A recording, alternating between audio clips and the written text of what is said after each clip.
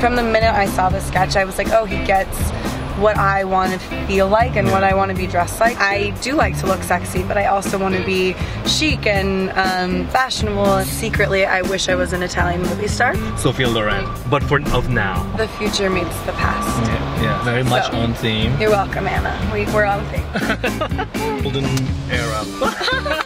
That's funny. All oh right, okay, that's just Is this a good omen or Yeah, it is. No, it is Okay, a great, great omen. omen.